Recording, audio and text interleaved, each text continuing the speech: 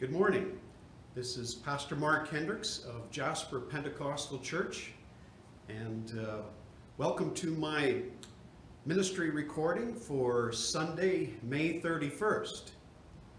It's uh, Pentecost Sunday, and uh, so we celebrate uh, the coming of the Holy Spirit uh, on the original day of Pentecost, but also his uh, abiding presence in the world and uh, in our own lives, in the lives of those who belong to Christ Jesus uh, by faith, and uh, his continued ministry within us uh, and uh, among us and in the world, uh, testifying about Jesus and um, expanding his kingdom, advancing his kingdom through the powerful ministry of the Holy Spirit and his work in our lives.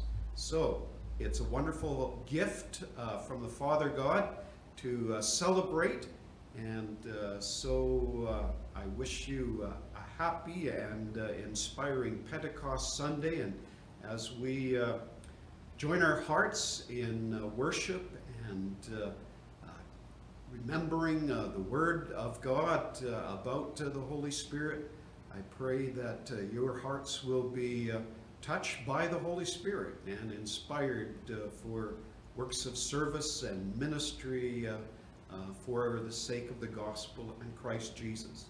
I'm going to be speaking uh, today about baptism in the Holy Spirit from Acts chapter 8, the so-called uh, Samaritan Pentecost.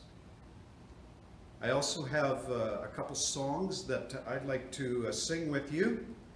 Uh, and uh, these are about the Holy Spirit, and they are both prayers for the ministry of the Holy Spirit, prayers for the, uh, the Holy Spirit to come and uh, do his work uh, within uh, each one of us who raise our hearts toward heaven and toward the Savior Jesus and, and invite his baptism and his infilling and his ministry of his Spirit uh, within our hearts and lives.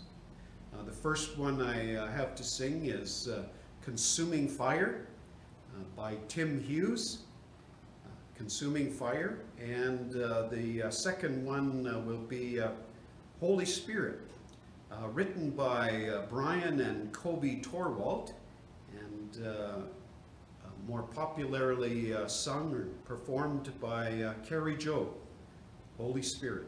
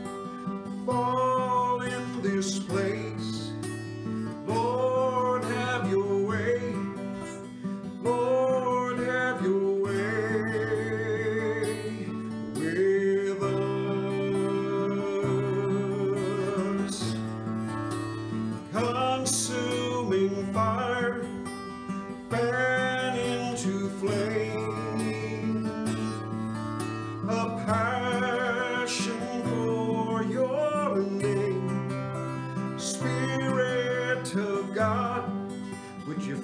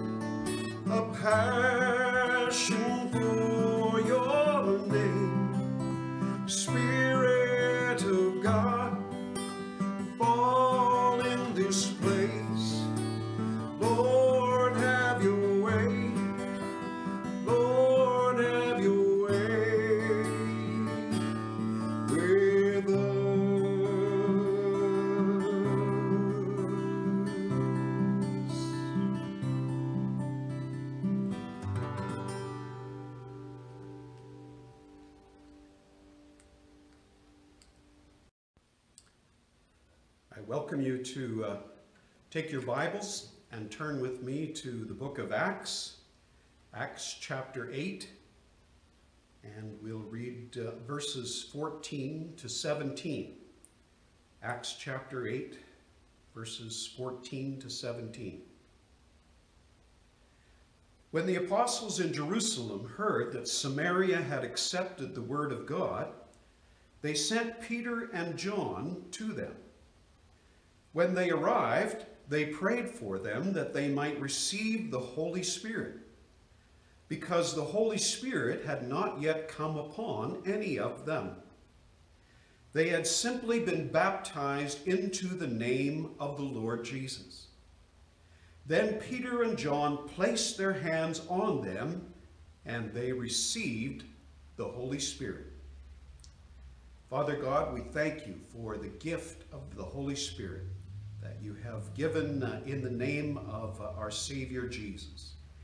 And I pray as we recall this coming of your Spirit upon uh, the Samaritan converts to Christ, that uh, you would, uh, Lord, speak to us about uh, the ministry of the Holy Spirit today and within our lives and in within our spirits also.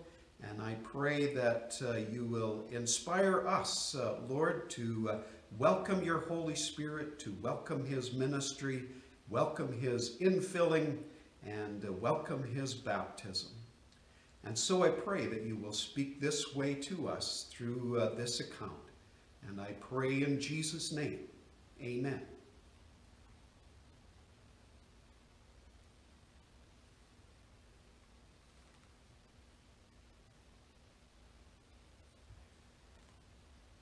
As I turned and was about to take a seat by the fire, I received a mighty baptism of the Holy Ghost. Without any expectation of it, the Holy Spirit descended upon me in a manner that seemed to go through me, body and soul. No words can express the wonderful love that was shed abroad in my heart. I wept aloud with joy. That is the recorded testimony of the 19th century American evangelist Charles Finney. Finney. And God used Charles Finney to inspire a great revival in the society of his time, a movement that has often been called the Second Great Awakening.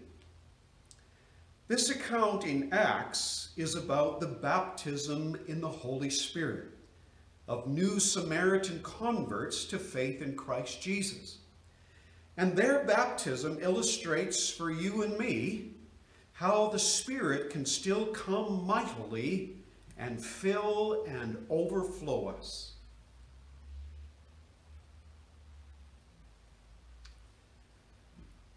When the apostles in Jerusalem hear that Samaritans have received the gospel message, the leaders send their two most prominent members, Peter and John, to confirm the report. Since the persecution that has begun with the death of Stephen, many Christians have fled from Jerusalem into the surrounding regions of Judea and Samaria. Philip is one of the seven wise and spiritual men whom the church has appointed to serve in the administration of its practical affairs. But the deacon Philip has also left Jerusalem.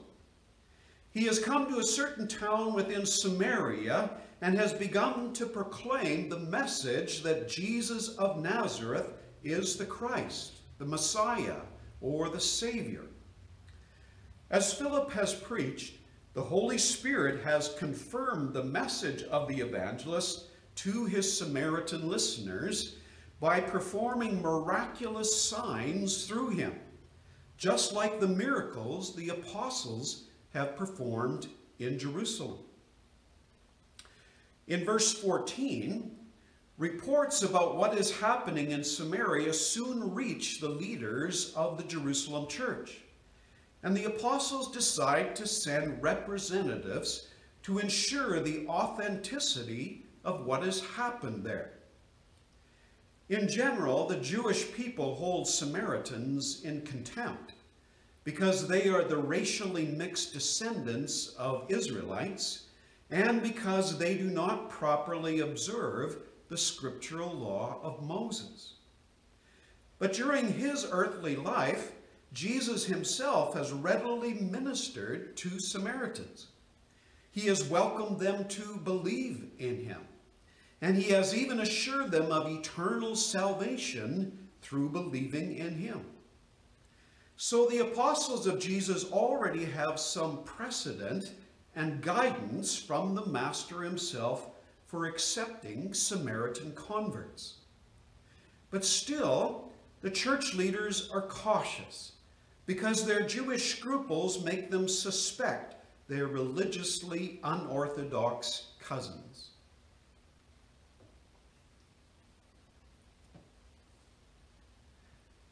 But in verse 15, when Peter and John arrive in the Samaritan town and meet the new believers in Christ, the apostles find that indeed the faith of the Samaritans is genuine. And so the apostles pray for them to receive the gift of the Holy Spirit. Because Luke, the writer of Acts, explains in verse 16, the Holy Spirit had not yet come upon any of them. They had simply been baptized into the name of the Lord Jesus. In Jerusalem, on the day of Pentecost, the Holy Spirit has come upon the first Christians.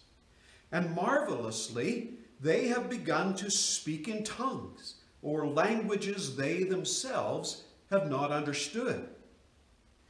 So when Peter and John arrive in this Samaritan town and confirm that the people there have believed in Jesus and that they have received water baptism in his name, the apostles pray that the experience of these new believers will become complete and full through a charismatic endowment of the Holy Spirit.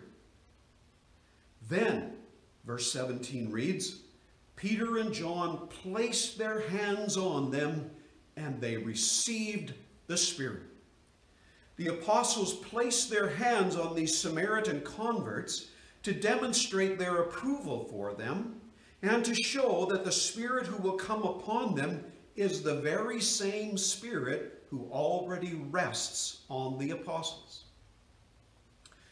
And the result of their prayer and the laying on of hands is that the Samaritan believers begin to manifest the same sort of charismatic behavior that the first Christians have manifested on the day of Pentecost.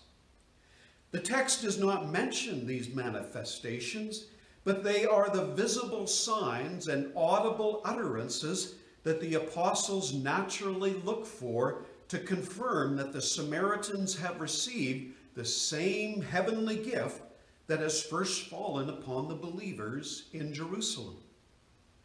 And along with the expectations of the apostles, there is also the reaction of Simon the sorcerer, whom we read about in verses 18 and 19 just below. He is so impressed by the way the Holy Spirit has come upon the Samaritan believers that he offers the apostles money and asks them to grant him the same ability to bestow the wondrous charismatic gift of the Spirit.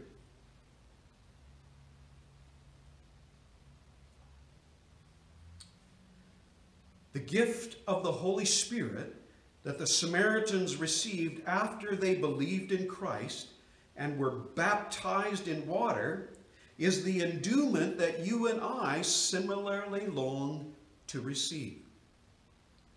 If you then, Jesus assures his disciples in Luke 11 13, though you are evil, know how to give good gifts to your children, how much more will your Father in heaven give the Holy Spirit to those who ask him?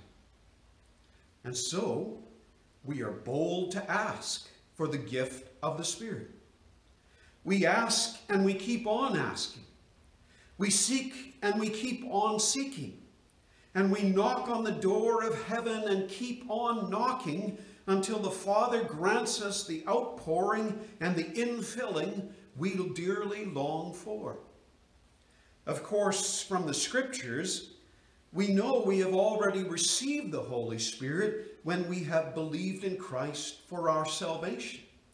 It is the Spirit himself who speaks within us to convict us about our sins, to testify to us about Jesus and the truthfulness of the gospel, and to assure us about our own spiritual adoption as the ever-living children of God. So whether we have spoken in tongues or prophesied or manifested any other charismatic sort of gift or not, we know that by simply believing in Christ, we have received the Holy Spirit and the forgiveness and salvation that God freely offers through his Son. But still, we long for more. We long for an outpouring, an infilling, an overflowing, a baptism in the Holy Spirit. We desire that the Spirit who has indwelled us since we have believed in Christ would also well up within us and overflow us like streams of living water.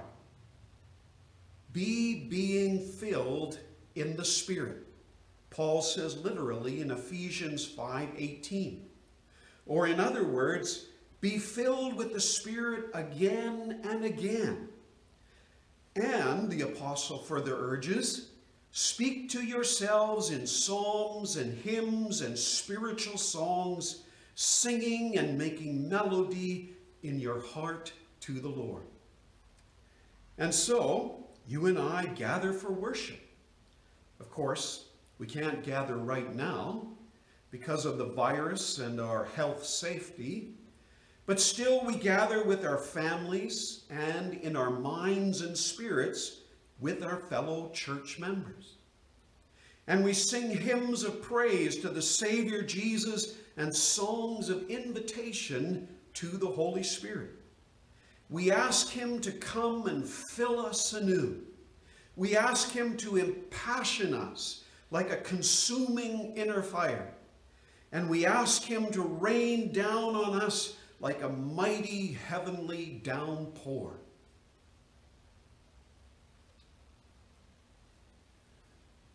Among the people of Samaria whom Philip preached the gospel to, the Holy Spirit drove out demons and enabled cripples to walk.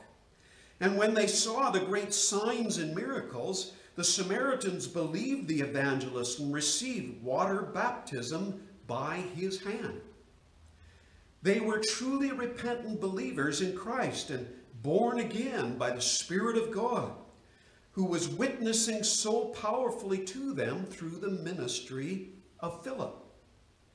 But when the apostles Peter and John came, they prayed that the Samaritans would receive something more. That the Holy Spirit would come upon them and baptize them in the same charismatic way that he had baptized the Jewish disciples on the day of Pentecost. And you and I, who have believed and have been baptized with water, we similarly wait on the Lord and pray for baptism in the Spirit. In the fire of a holy passion for Christ. And yes, even in the excited utterances of adoration and praise that necessarily rise and overflow from grateful and overjoyed hearts. Sometimes we lay hands on one another when we're not separated by health safety orders. We lay hands on one another just as the apostles laid hands on the Samaritans who received the charismatic spirit. And like them, we are inspired and excited by the understanding that the heavenly flame burning within our brothers and sisters will also ignite and burn within us. But whatever the means we use to awaken faith and arouse expectation in one another, we know the heavenly holy wind comes spiritually and invisibly. He comes from heaven and the Father above who has sent the Spirit. And he comes graciously and freely as a precious and powerful gift for those who love the Savior Jesus and who desire to serve him effectively. And yes, the Spirit also comes to each of us within our own homes. As you and I wait upon him in shared expectation, and as we join our hearts in common adoration for the heavenly baptizer, Christ Jesus.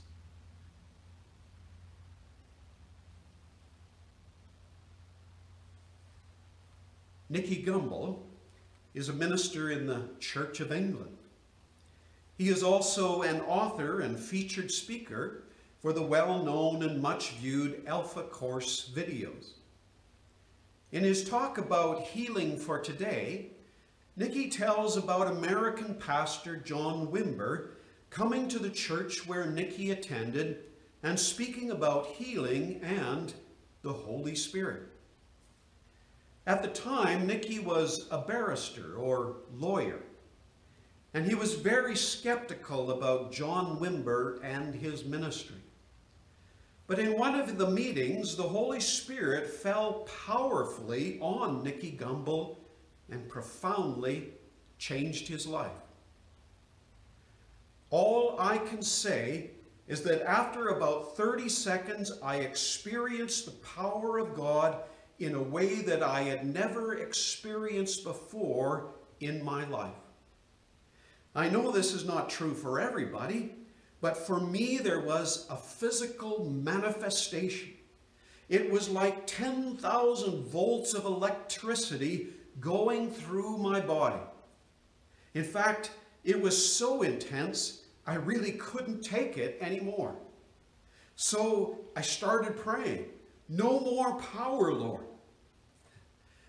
I think John Wimber must have had difficult people in his meetings before because he said, Oh, take that one out.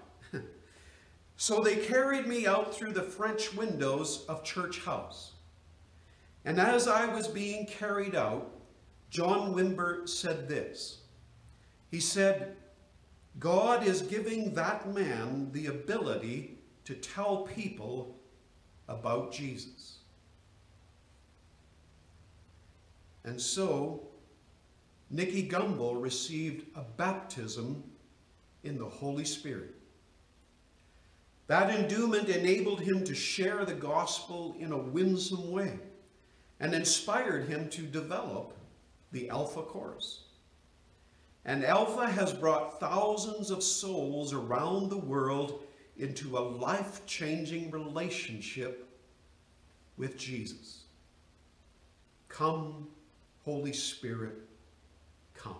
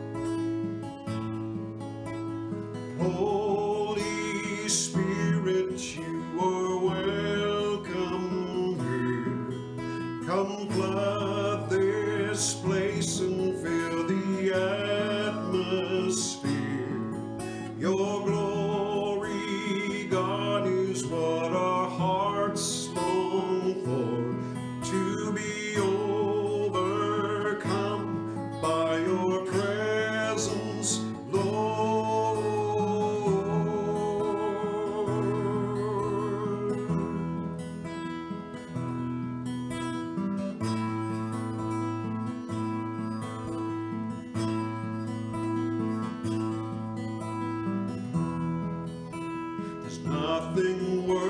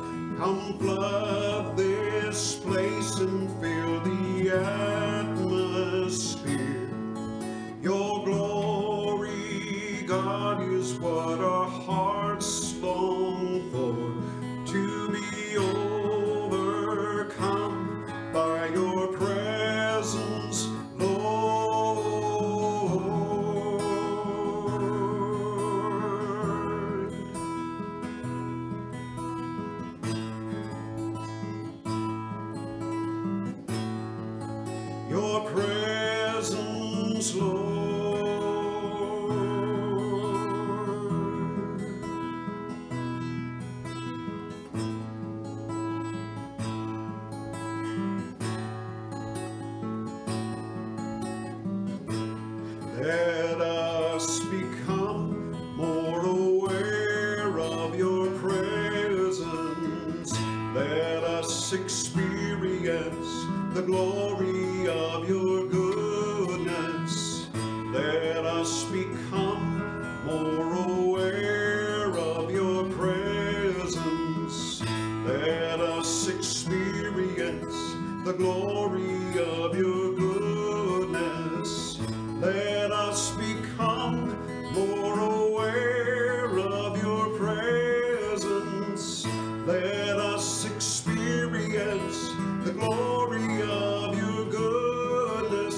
die.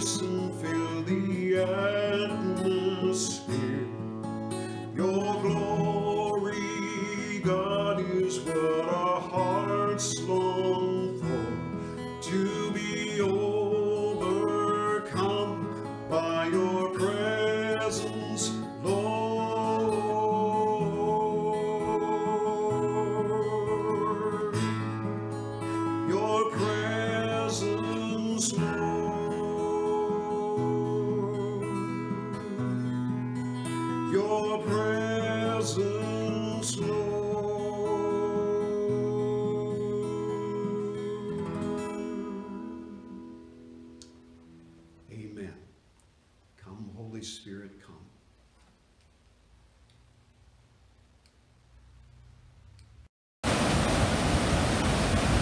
Lean Canyon, Second Bridge.